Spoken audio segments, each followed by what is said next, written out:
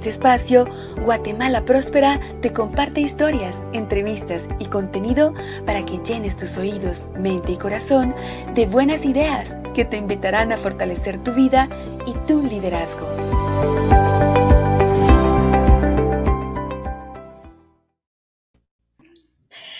Bienvenidos a Live GP.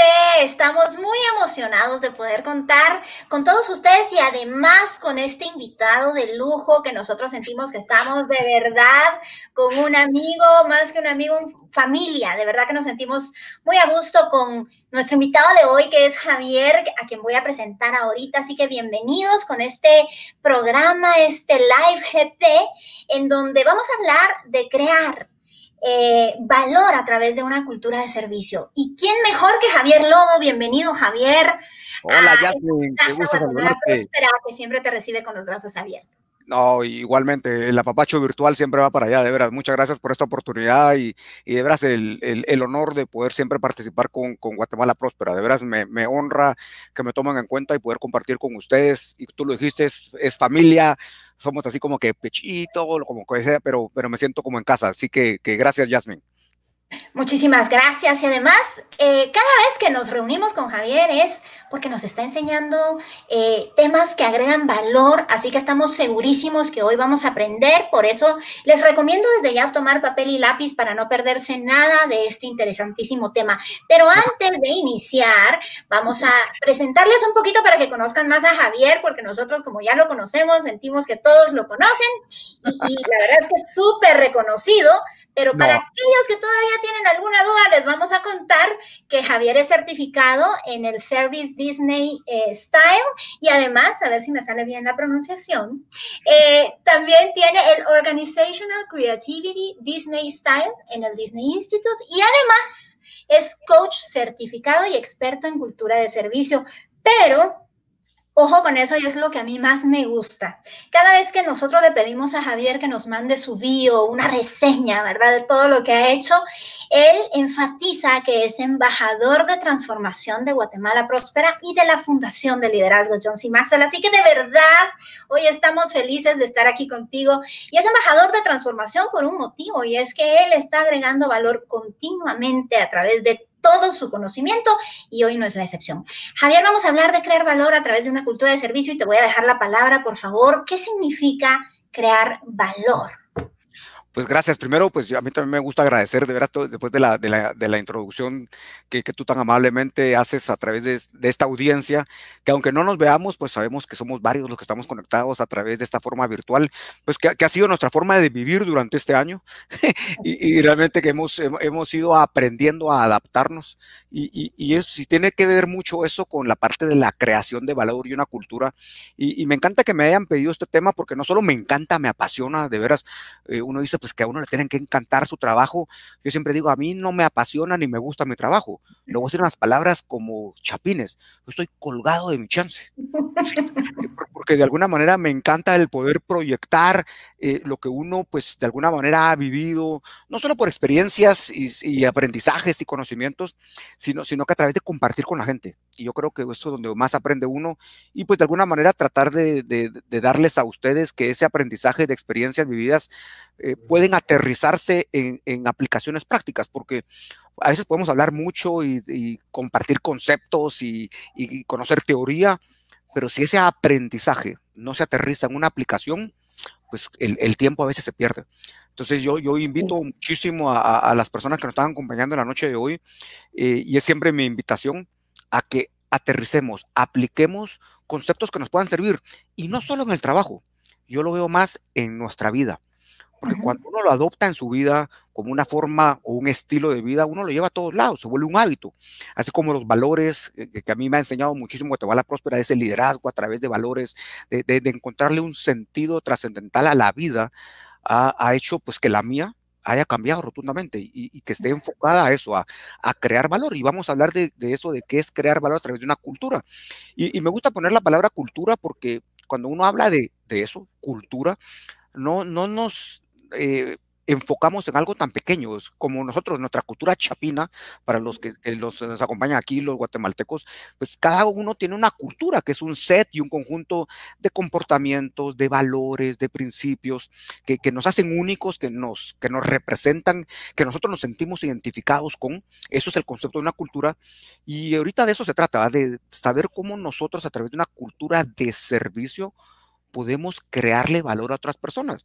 Y, y, de eso se trata, ¿verdad, Jasmine? Que, que, nosotros podamos, a través de nuestras organizaciones, de las instituciones, de empresas, de emprendimientos, de negocios, poder nosotros construir internamente un ADN que se llama el servir y que ese ADN nos puede identificar de la manera en que proyectamos esa creación de valor.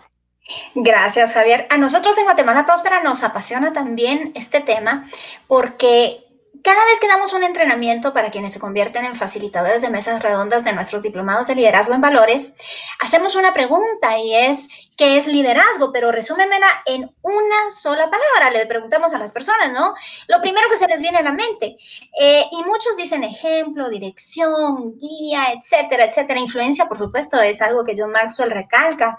Sin embargo, en pocas ocasiones nos dicen servicio y para nosotros dentro del ADN de Guatemala Próspera, eh, fundamentalmente el liderazgo es servicio. Así que lo que tú estás diciendo eh, nos encanta, nos apasiona. El liderazgo es servicio. Así que por favor, amplíanos un poquito más cómo podemos crear este valor a través de esa cultura de servicio.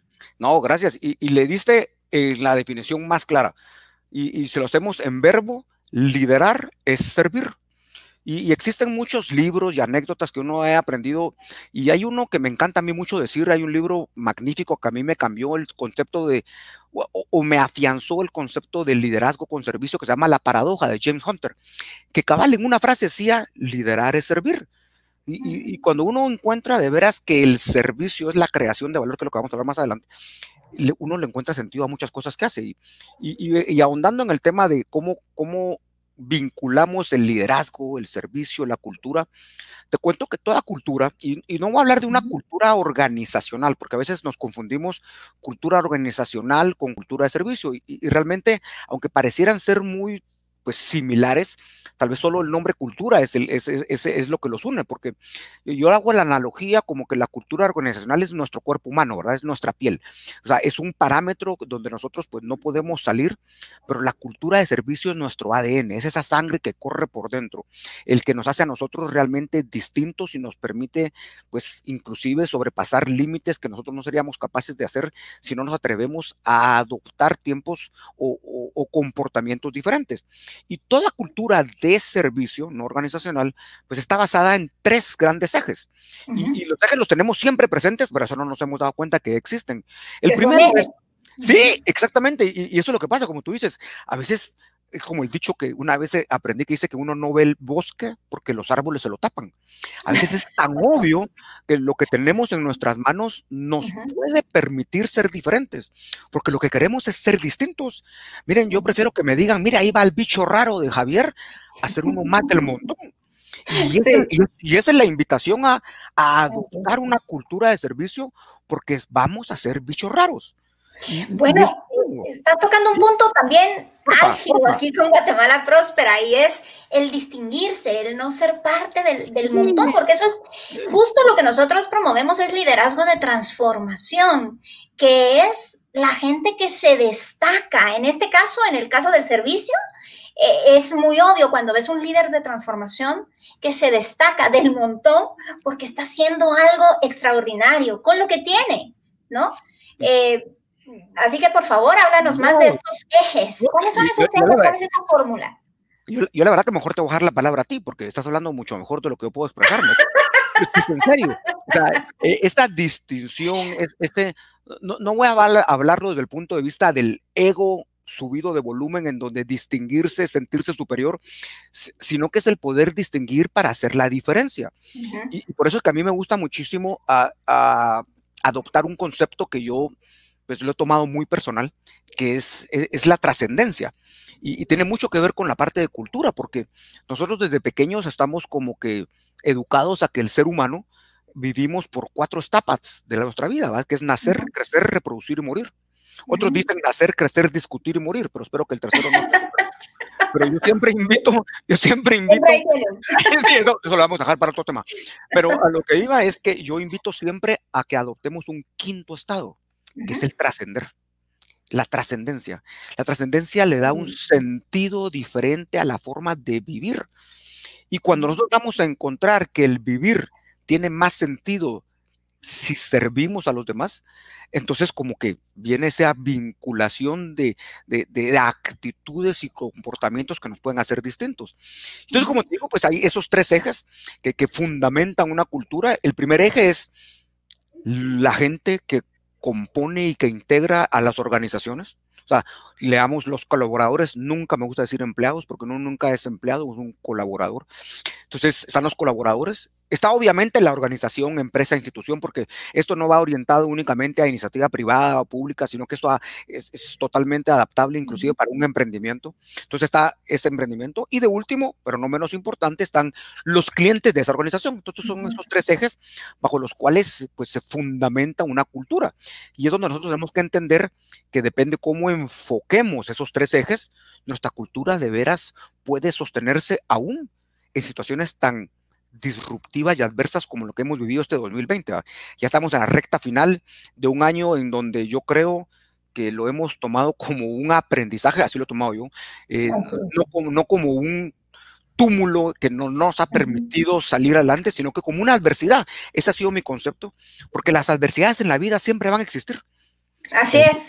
El, reto es cómo... Aprender de ellas, ¿no? Exactamente eso.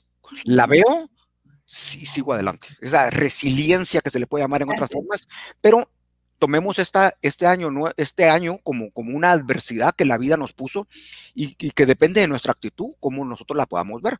Por eso es que el primer eje, que es nosotros, los colaboradores, los que pertenecemos a una organización o los que trabajamos por nuestro propio emprendimiento, tenemos que entender que tenemos que redefinirnos.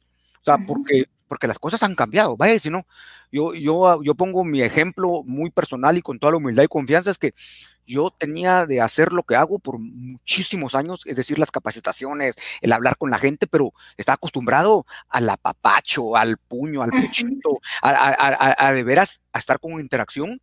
Y el 14 de marzo todo eso acabó. Y entonces, de repente yo tengo que decir, pues tenemos que redefinirnos. Por eso que como colaboradores, como personas, la primera, el primer eje es yo reconocer lo valioso que soy. Miren, de veras, independientemente del entorno, de la bulla que exista a nuestro alrededor, de la situación que estemos viviendo, nunca dejen de creer lo mucho que valemos. Y no estoy hablando de un ego mal usado, sino que un valor personal de ustedes como personas, de cómo son. No es lo que sabemos. Sé que los conocimientos y las habilidades aportan muchísimo, seguro, pero es más importante nuestra forma de ser. Que viene mucho A mí me encanta una frase, Javier, perdón que te interrumpa, que dice... Me que me interrumpas, interrumpime toda la noche. y como para que sepan los teleaudientes, tenemos tres horas para estar hablando, así que aquí para adelante. Bueno, audiencia, ya saben, si ustedes pensaban que se iban a dormir temprano, creo que hoy no va a ser el día. Bueno, eh, antes de ser mutuo, el amor es propio, dice una frase, y eso a mí me gusta mucho porque reflexiona lo que tú estás mencionando. Nosotros tenemos que valorarnos también a nosotros mismos y valorar a los demás. Sí, totalmente. Es que miran, si uno no se quiere, en el buen sentido de la palabra, pasa eso de una frase que a mí me ha impactado toda mi vida, que dice que nadie puede dar lo que no tiene. Entonces, si yo por dentro no me siento con el valor de poder proyectar, que la gente perciba mi positivismo, mis valores, mis principios, mis ganas de vivir, pues nadie lo va a percibir porque yo lo tengo que sentir primero. Y a eso va ese valor. Y ese valor tiene otra palabra que lo define como la autoestima, porque la autoestima es lo que yo pienso de mí no que los demás piensan de mí.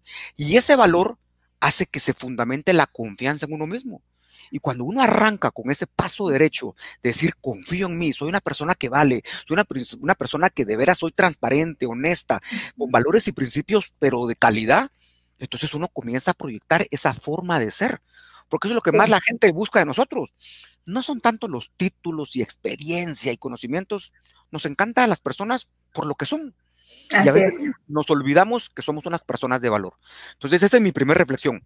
No se olviden de lo mucho que valen, independientemente del ruido negativo o no tan constructivo que tengamos alrededor, porque hoy desafortunadamente estamos bombardeados por mucho, mm, le voy a llamar la palabra negativismo, y, pero si nosotros mismos no nos encendemos, si nosotros mantenemos esa llama adentro, internamente prendida, entonces fácilmente podemos caer. Es cierto. Vamos a tomar entonces un momentito para pedirle a producción si tiene ya eh, saludos de parte de la audiencia que hoy nos está sintonizando en el AFP. Vamos a hacer una pausa. Ya Javier nos lanzó la primera perla de sabiduría y es el eje número uno de esta cultura y valor y crear valor a través de una cultura de servicio que son los colaboradores y las personas.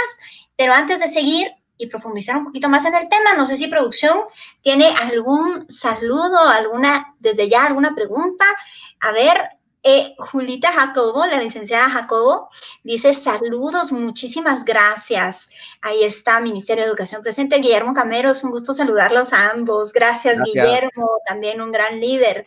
Eh, Lorena Argueta, la diferencia la hacemos nosotros y es parte del servicio. Así es, querida Lorena. Henry Jiménez, tenemos que ser ejemplo. Es correcto, ¿verdad? Muchísimas gracias. Bueno, entonces te dejo en el uso de la palabra para continuar con, con, los demás. Y, pues para terminar con el primer eje que somos nosotros, me encanta decir que hay algo que deberíamos de, de acuñar como un comportamiento. Y, y, lo digo como, parece un trabalenguas, pero no lo es. Es aprender a desaprender para volver a aprender. Nosotros como personas tenemos que tener la capacidad de desarraigar o de quitar tal vez conceptos o paradigmas que teníamos en un principio o un pasado y darnos hoy la oportunidad de aprender nuevas cosas. Vaya y si esta situación que hemos vivido en este año nos obligó, por no decir nos retó, a darnos cuenta que tenemos la necesidad de aprender nuevas cosas. Yo nunca le había hablado a una cámara, todavía me cuesta. todavía como diría algún buen chapín. No, no, no, en serio. ¿Sabes qué? Como diría, como diría un buen chapín, y lo voy a decir con toda la confianza de Guatemala, todavía no me hallo. Deberes de estar hablándole a la cámara, porque yo sí necesito esa interacción, pero tuve que tomar una decisión, y eso es el, el aprendizaje del cambio. Tuve que tomar la decisión de cambiar porque nadie puede cambiar a nadie, solamente uno puede cambiarse a sí mismo. Y tuve que tomar la decisión de adaptarme a una nueva forma de poder seguir proyectando lo que me gusta hacer. Y entonces por eso es que el aprendizaje viene de a veces dejar lo que yo ya sabía, por años hacerlo, y adaptarnos a la nueva forma de vivir. Y vaya, y si esta situación actual, esta adversidad, no nos ha retado a que debemos ser diferentes, a que debemos adaptarnos a lo que hoy tenemos. Es cierto, a veces añoramos lo que no tenemos. Hay personas que me dicen, mire Javier, sí, pero cuando volvamos a como éramos antes, digo, miren, yo no sé si el regresar al pasado es positivo o es negativo.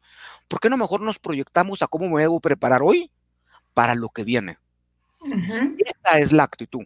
Porque para cerrar el primer eje, la actitud y el enfoque positivo marca la diferencia. ¿Sí? Porque todos tenemos actitudes, todos tenemos. Lo que pasa es que hay actitudes que suman y otras que no suman tanto. Pero está, en mí qué actitud aplico en mi vida. ¿Sí? Correcto, correcto. Y nos rodeamos, esas actitudes eh, también son como un imán, ¿no? Nos rodeamos también de personas que suman o la palabra que tal vez no quisiste usar o restan, ¿no?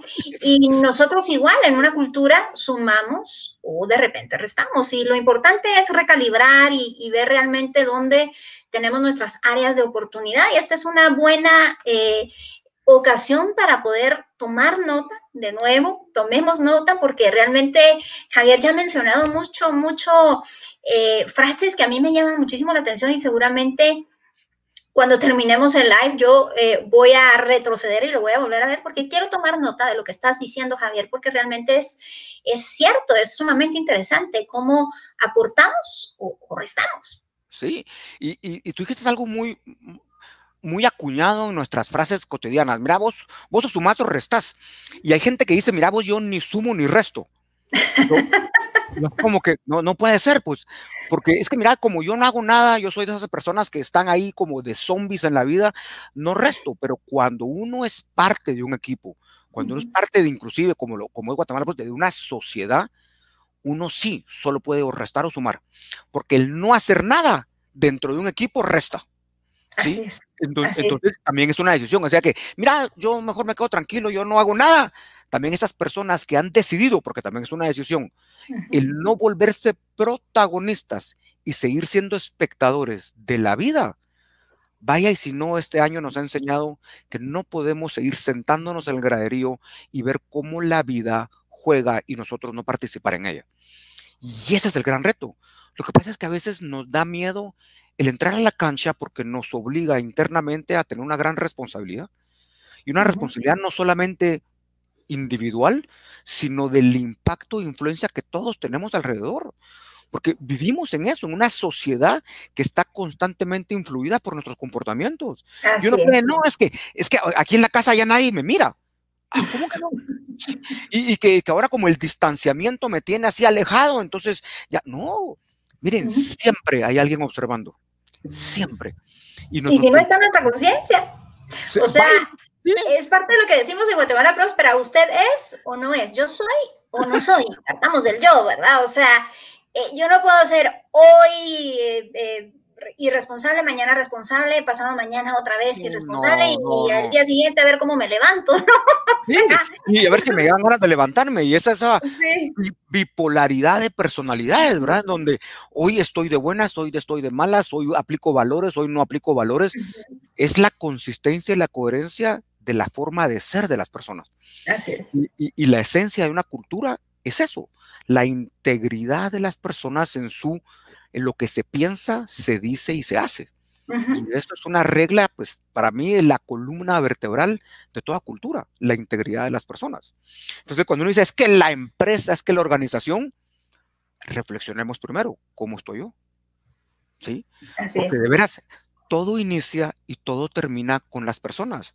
Porque en el segundo eje, que es la institución, no son las cuatro paredes lo que hacen una organización, una empresa, un negocio son también las personas. Y las personas ahí dentro de la institución como equipo representan a esa institución. Y, ese segundo eje debe de entender que debemos de escuchar y comprender a los clientes de una manera distinta. Si nosotros como clientes ya cambiamos este año, ya cambiamos y siempre vivimos en una constante, yo le llamo... Eh, requisición desmesurada de, de, que me complazcan. O sea, nosotros cada vez somos más exigentes o no. Yo no, es, es en serio, o sea, la naturaleza sí, es que mire, yo quiero la comida rápido, ¿no? Que la quiero rápida, caliente, barata y ahorita. Ni tiempo, no hemos terminado de decir qué queremos y ya le queremos ahí, ¿no?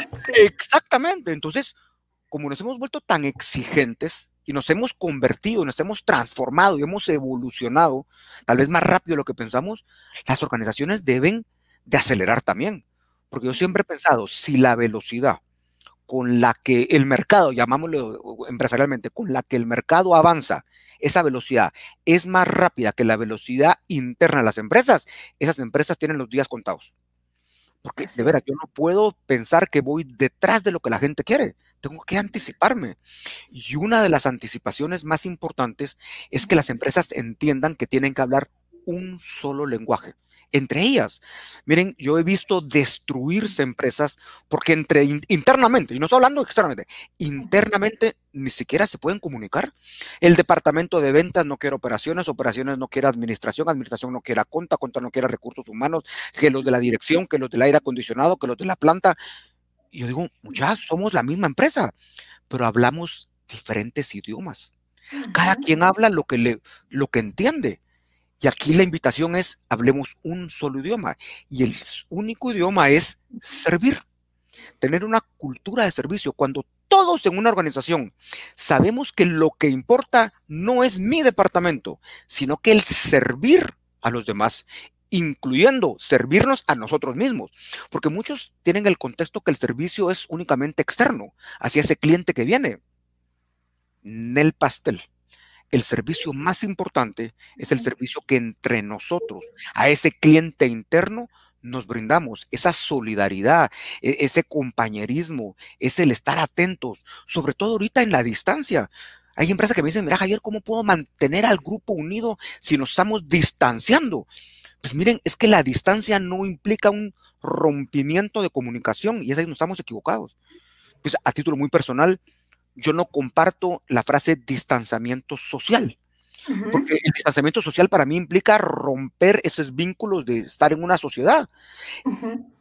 E implicaría el rompimiento de la comunicación. Estamos distanciados físicamente. Ese distanciamiento no nos dé la excusa en que ya no podemos hablar con no sé quién, que ya no nos podemos comunicar con el cliente, que ojalá que los colaboradores están haciendo su trabajo en casa. No, e, esos son paradigmas y utopías que no aplican ahora. Es más, ese distanciamiento nos obliga a una mayor responsabilidad y disciplina. Totalmente. totalmente. ah, es que ya no tengo que marcar tarjeta, qué buenísimo. es que no es eso. Le estamos dando la confianza a la gente que sigamos siendo igual de responsables. Lo mínimo que podemos hacer nosotros para esa empresa que aún nos tiene con trabajo es ser condescendientes en el respeto a lo que tenemos que hacer. Así es. Tienes toda la razón. Hay una frase eh, que dice, el servicio no es lo que haces, sino quién eres. Es básicamente lo que tú nos estás hoy enseñando. O sea, el servicio es parte de, de ser consciente, de querer eh, beneficiar a la organización, porque es quien te está dando ese trabajo, ya sea que sea tu organización, si eres un microemprendedor o emprendedor, o trabajas para una organización, pero pues tienes que, eh, digamos, ahí sí que como decimos en, en Buen Chapín también, eh, sacar el chance, ¿no? Porque es parte de lo que tú eres y representas. Y tú hablabas al inicio también de la trascendencia y es imposible poder trascender si no dejamos un legado y ese legado se construye día tras día, no es hasta que ya no estamos, es todos los días. O sea, cómo nos van a recordar el día de mañana va a depender de lo que hacemos hoy. Así es. Así de lo que haremos Mejor dicho, imposible. A Jasmine es, es, ¿qué voy a dejar? O sea, no solo a quién se lo voy a dejar, sino cómo quiero ser yo recordado. Y cuando uno empieza a decir, ah, es que me gustaría que me recordaran como X, Y, Z, al final la verdadera esencia es la huella que uno deja en alguien más. Y tú dijiste ahorita una frase que me encantó. Que, qué bueno que tenemos ese trabajo, esa condescendencia, ser recíproco a una empresa que todavía nos permite tener trabajo, el poder aportar. Por eso es que ahora esa frase que a veces decimos, y también otra vez lo digo muy a Chapín, mira cómo estás de trabajo. Hasta aquí, estoy full. Eh, la palabra más utilizada, estoy socado de chance, mucha. Y, yo digo, antes lo, podíamos decir como que, como que si fuera una carga. Perdón que lo diga, pero es una bendición decir esa frase. Porque yo que ya lo viví, es más triste no poder saber qué hacer y levantarse y no tener nada que hacer. Y entonces cuando yo reconozco esa bendición que tengo en que estoy socado de chance, es darle la vuelta y no decir socado, estoy bendecido en el trabajo, tengo que aportar con lo que soy, yo puedo ser diferente, yo puedo causar ese efecto y esa experiencia, porque la invitación es que las empresas no se limiten en ese cuadradito de que dar un buen servicio al cliente suficiente. Por eso que inclusive yo ya no hablo de un buen, ni siquiera hablo de servicio al cliente, hablo de creación de experiencias, una cultura, porque eso va trascender más allá que simplemente un gesto o una acción. Es un conjunto que encierra y construye experiencias.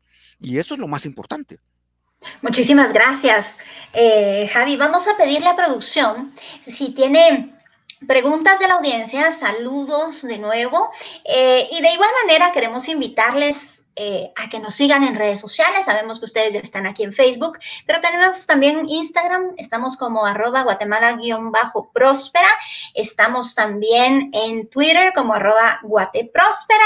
Tenemos muchas redes sociales. Tenemos LinkedIn, por favor, YouTube, eh, slash guatepróspera.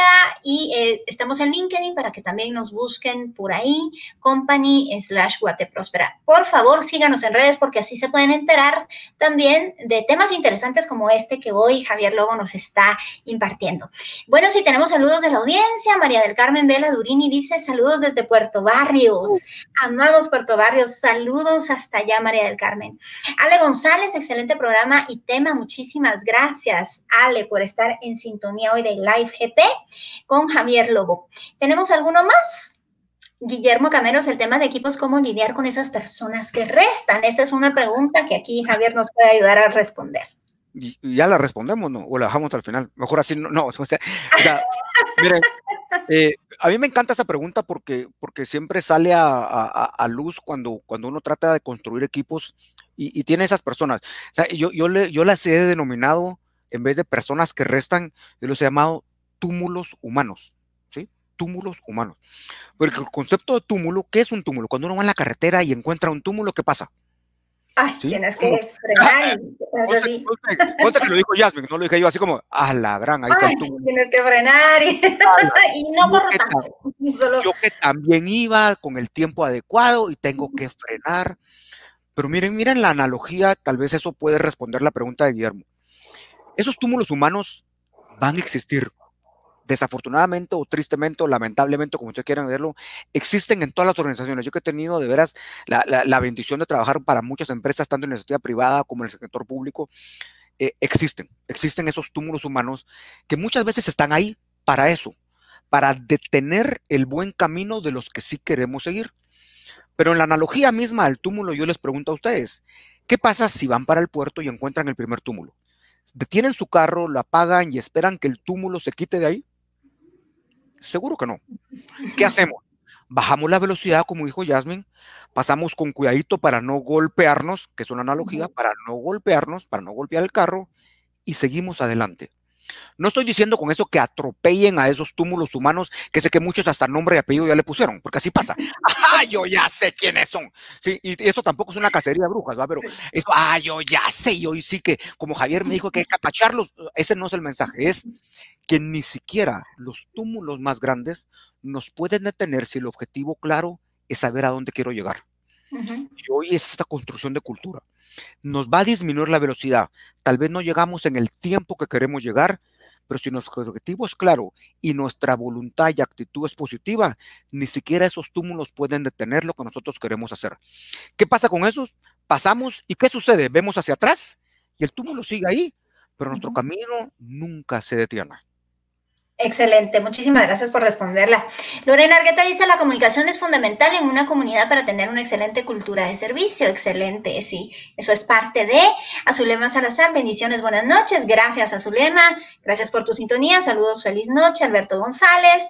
Muchísimas gracias a todos eh, los que están también participando hoy. Juan Fernando Betorazzi, felicidades por el programa. Este tipo de consejos y motivación es muy importante en estos tiempos. Un fuerte abrazo. Va de regreso, Juan Fernando, gracias. Y Henry también también nos cuenta, hay que cambiar la mentalidad de ese no es mi problema o ese no es mi trabajo y tenemos que impulsar al trabajo en equipo. Totalmente de acuerdo. Es que lo más fácil es decir, no soy yo, no es mi culpa, yo no fui, porque el tomar esas decisiones implica responsabilidad. Y, y, muchas personas lo que tienen miedo es tomar la responsabilidad de tomar acción. Es como les dije el ejemplo, no cualquiera le dan la oportunidad de entrar a la cancha a jugar. Hoy la vida nos exigió entrar a la cancha y jugar. Es decisión de cada uno cómo quiere desempeñarse en esa cancha. Sudar la camiseta y con orgullo decir, di lo mejor de mí. Llegar a la casa después de una ardua tarea de trabajo y decir, puedo dormir tranquilo porque di lo mejor de mí mismo, saqué la mejor versión de mí o me quedé dos que tres. Y, eso es una decisión, de veras, ¿sí? Sí. Fernando Lobo Castillo dice, comparto trascender como el quinto estado. Gracias. Vale, vale, vale, vale, Saludos, Fernando. Saludos desde Chiquimula, dice Douglas Archila. Saludos también a la bella eh, ciudad de Chiquimula y, y, el departamento de Chiquimula. Saludos desde San Pedro Garchalta, Verapaz, excelente programa. Felicidades, eh, Mileni JC. Bueno, vamos a continuar entonces porque tenemos tres ejes. Ya Javier ha desarrollado alguno de ellos, pero todavía nos queda por aprender realmente ese camino a la trascendencia a través de crear valor por medio de una cultura de servicio. ¿Cuáles son los otros ejes, Javier? El otro eje que ya habíamos hablado, que era la, la, organización, cómo debemos de aprender a escuchar de una manera diferente. Y aquí es donde me han hecho una pregunta que me encantó y que me ha servido de aprendizaje. Porque una empresa me dijo, mira Javier, ¿cómo puedo seguir yo como empresa creando experiencias positivas si yo no miro a los clientes? Si ahora están distanciados, si ahora antes era el apapacho, el cafecito, el pasar adelante, cosas que hoy estamos más limitados. Y, yo siempre me pongo a pensar, ¿será que es posible crear experiencias a distancia? Experiencias positivas. Yo respondo que sí, y no por, por, por, actos claros que hemos podido vivir, sino que a mí me gusta poner un ejemplo de una empresa que por décadas lo ha hecho así, brindar experiencias positivas a distancia. Y no ahorita en la pandemia, ni lo ha hecho por años. Y tal vez algunos se identifican con esa empresa porque al igual que yo nos hemos vuelto adictos a la misma que se llama Amazon. Sí. Ah, sí, miren, yo no sé si es bueno o malo decirlos, pero no se metan. Porque si uno se mete... es adictivo. es, la palabra tú le dijiste, adictivo. Y miren, y la adicción no es solamente por lo que uno puede encontrar, comprar, sino que es la adicción a cómo uno se siente cuando uno entra a Amazon. Uno entra y pone su login y de veras lo comienzan a saludar. Y mire, Javier, la última vez que usted compró, hay gente que le compró, por favor, compártame cómo le fue. Están en una constante retroalimentación y seguimiento a nuestras experiencias. Nunca nos han preguntado, mire, ¿y lo que gastó para usted fue lo suficientemente adecuado? No. ¿Cómo se siente? ¿Cómo se sintió usted? El delivery fue bueno, la compra fue exitosa nos hablan de cómo nos hemos sentido. Y nos conocen tanto que uno dice, puchica, me conocen más que en mi casa. Y uno se siente tan identificado que uno se vuelve adicto y comienza a seguir comprando. Y yo les pregunto, ¿alguna vez hemos conocido a alguien, a un vendedor de Amazon? ¿A alguien que nos lleve las cosas? Nunca. No. Pero ellos han podido... Exactamente, han podido crear vínculos casi que humanos a través de una plataforma y no conocemos ni quién es el que está al otro lado de esa pantalla. A mí, me, a mí me pasó, pues no digo recientemente, pero cuando tuve que cambiar esto de, de, hablar por, por Zoom y con micrófono, pues, pues tuve que adaptarme a, a, conseguir nuevas cosas. Y, y en Amazon compré un micrófono porque creí que era el bueno, un Bluetooth, pero no me funcionó, porque me dijeron que para las plataformas no se puede con Bluetooth, es mejor conectado a un USB, pero eso yo no lo sabía. Entonces, le escribo al servicio al cliente de Amazon y aquí voy a pedir la reflexión de todos. ¿Qué pasa cuando uno le escribe a esos correos que dice servicio al cliente arroba empresa.com? Wow. uno se persina, uno dice así, ojalá alguien lo lea. Alguien me conteste. es que así es, uno le tiene miedo. Entonces, con ese mismo miedo yo les escribí y les conté mi historia. Miren, compré mal un micrófono. Miren, live chat como estamos ahorita con Live GP. Me contesta Nicky, ¿en dónde del mundo está Nicky? No sé. Entonces yo le escribí contándole que compré un micrófono malo. Y me dijo, lamento el inconveniente que tuvo Javier. Lamento, si el menso fui yo, le dije yo, usted no Y yo lo compré mal. Y me dice, no, es que usted no está feliz, nosotros no podemos estar felices. Así me contesta yo, no debe saber que está hablando. Impresionante no debe de saber que está hablando con un chapín. Y usted así como, mire, mire, entonces, ¿sabe qué me dice? Mire, devuélvanoslo, ningún cargo adicional y se lo reemplazamos. Entonces le conté, mire, estoy en Guate, el shipping de regreso me sale más caro que el micrófono. ¿Saben qué me, ¿Saben, qué me contestó? Me dijo, que lamentamos esa situación, pero no se preocupe. ¿Sabe qué? Quédese con ese micrófono, dónelo, úselo para lo que usted quiera le vamos a mandar otro que a usted sí le funciona sin que usted tenga que pagar un centavo más. Sobre todo, es más barato que el que usted compró, se lo mandamos a la misma dirección. Impresionante, literal. E, esa, esa, fue la expresión, seguramente. No, yo dije yo, me están observando, este debe ser aquel cliente misterioso que quiere saber cómo... No, fue, fue real. Ella ahí mismo, en ese chat, me resolvió la experiencia, me mandaron mi nuevo micrófono, que es el que estoy presumiendo ahorita. A mis hijos no les gusta porque parece que, parezco de call center, pero a mí me encanta, me encanta y, creo que me escucho muy bien. Pero miren, ¿cómo creen que yo me quedé con Amazon? Por supuesto, feliz. Y lo estás contando y estás aprovechando todos los momentos que puedes para compartir tu experiencia y eso hace un efecto multiplicador. Y entonces yo les pregunto a las empresas, no me digan que no podemos construir experiencias a pesar de la distancia. Que tengo que conocer muy bien al cliente. Ellos tenían la información mía necesaria. ¿Para qué? Para pegarme en algo que no era racional. Porque muchas veces, miren, le voy a dar un descuento, le voy a dar esto gratis y la gente cree que eso se hace sentir bien. El servicio no es racional, el servicio es 100% emocional. Y a mí donde me pegaron fue la solución a mi problema del micrófono. No es que no me importara lo que había pagado, obviamente como buenos chapines nos importa cada len, pero a lo que iba es lo que me hicieron sentir. Y eso es lo que no se olvida. Y esa es la esencia del servicio. ¿Cómo hago yo sentir a las personas? Y ese es el segundo eje. Yo como empresa, como organización, como emprendedor, como prestador de servicios profesionales, ¿cómo hago sentir a mis clientes? Esa es la pregunta. Esa es la pregunta. Y esa es una pregunta clave. La experiencia, eh, cómo nos hicieron sentir, siempre lo vamos a recordar. Eh, probablemente en, en, el transcurso del tiempo olvidemos incluso con el punto cuánto nos costó, tal vez en ese momento nos dolió, pero después se, se olvida, pero la experiencia de cómo nos hicieron sentir nunca. Eh, se nos está haciendo muy corto el tiempo. Yo sé que a volado les dijimos desde el inicio que hoy seguramente si planeaban acostarse temprano vamos a tenerles que decir que nos den un momentito más. Pero tenemos todavía un tercer eje, Javier, del cual... Voy a decir rapidito, voy a decir rapidito porque ya, ya me están poniendo ahí como al principio, tiene 20 segundos, 19 segundos, lo voy a decir rápido. El, el no, tercer... estamos sumamente entretenidos. Yo por mí me quedo dos horas, ¿verdad?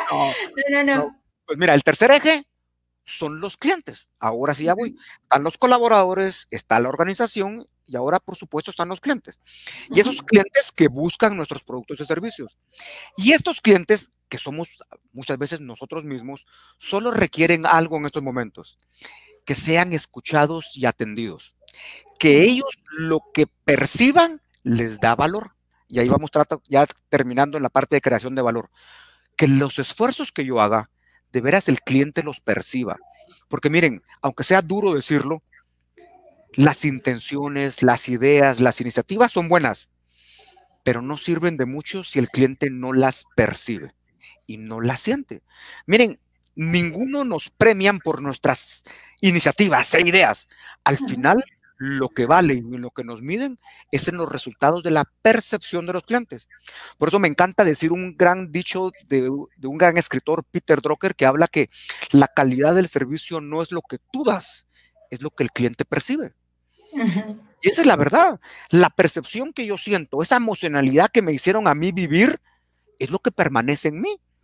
Y por eso es que esos clientes hoy están sedientos de que los hagamos sentir y experimentar cosas distintas. Miren, y las empresas que tienen esos canales de comunicación con sus clientes, utilícenlos para construir experiencias positivas. No los utilicemos nada más, e, esta adicción del teléfono no la usemos nada más como que el recordatorio de pago.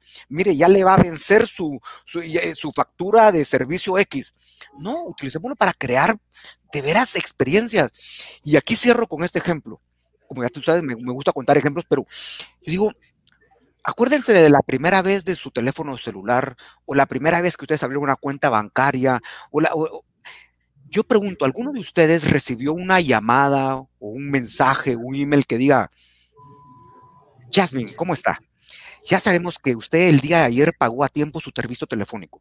Sabemos que estamos en unos momentos muy difíciles y que apremian muchísimo, pero agradecemos su lealtad. De veras, Estamos muy agradecidos porque siga siendo nuestro cliente. En estas fechas tan especiales, le vamos a regalar 100 minutos más para que pueda seguir reconectada con sus amigos y familiares. Gracias, Jasmine, por estar con nosotros. No. Si uno recibe una llamada así y uno ¡Eh!